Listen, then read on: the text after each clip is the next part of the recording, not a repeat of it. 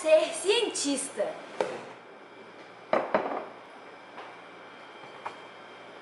Yay!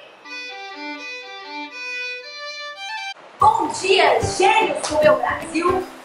No vídeo anterior, a gente falou o que faz o cientista e talvez você esteja curioso. Então hoje, a gente vai falar da construção da carreira de um cientista. Tudo começa na graduação, onde você escolhe a sua área de especialização. Ah, mas existe um curso específico que o cientista faz? Não. Você pode fazer pesquisa estudando pedagogia, matemática ou biologia. Então, o que realmente vai dizer qual área estudar é a sua afinidade pelo curso. Fazendo um curso de graduação, você pode já começar a entrar em contato com a pesquisa, fazendo a famosa iniciação científica. Na iniciação científica, você desenvolve pequenos projetos sobre a orientação de um professor da faculdade. E aí, você vira o famoso IC, estudante de iniciação científica. A duração dessa iniciação científica, você que vai decidir. Você pode passar a graduação inteira fazendo esses projetos se você quiser, inclusive sobre a orientação de professores diferentes. Tudo vai depender de quais áreas você quer atuar e se o professor terá disponibilidade para te orientar. E aí você se forma. E agora, qual o próximo passo? A pós-graduação. O próximo passo, no geral, é o mestrado. Dura ali dois anos.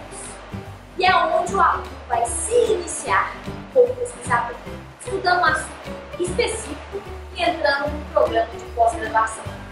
Durante esses anos, os alunos estudam matérias que aprofundam na área escolhida, além de desenvolver um projeto sobre a orientação de um professor. Durante o mestrado, o aluno deve desenvolver habilidades para adquirir, formar e transmitir conhecimentos.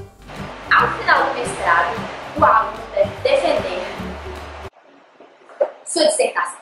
E depois de ser avaliado por uma super gente boa, o aluno ganha o seu título de mestre. Ou não. O próximo passo agora é o doutorado, que funciona mais ou menos como mestrado, só que a responsabilidade é maior. São quatro anos de curso, podendo se estender para cinco, onde o aluno estuda mais sobre a área escolhida e desenvolve uma tese. No final do doutorado, portanto, você tem gente boa no final. E se você passar, você ganha o título de. Uh! Uh! Acabou! Depois que você ganha o seu título de doutor, você já é um pesquisador profissional. Porém, ainda te falta um pouco de experiência como pesquisador independente. E é no pós-doutorado que você consegue isso, com um supervisor te auxiliando nas suas empreitadas científicas.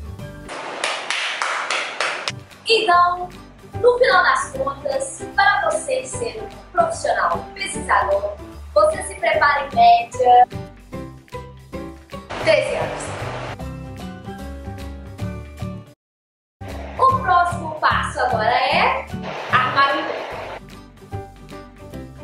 No Brasil, esse emprego pode ser uma universidade pública, nesse caso você é um pesquisador professor, e neste caso você teria que passar um curso, ou pode ser no Instituto de Pesquisa, que é público, como o Fiocruz, o Instituto Butantan, e nesse caso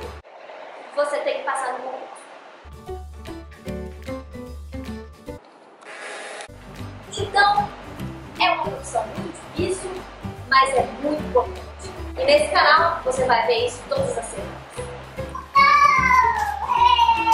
Quer saber o que acontece no programa de pós-graduação em Biologia Solar? Se inscreve no canal, ativa o sininho, dá um like. Até mais! E nesse caso você seria você seria um voluntário, certo? Tá certo, certo. Quer ser dublado?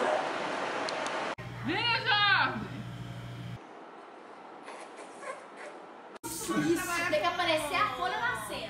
tipo de ator? Amador. É, que eu queria um aumento. Eu não sei se é. Tá... O cego é o café vai cair, moço. Merda. Tô mostrando o café desse cara.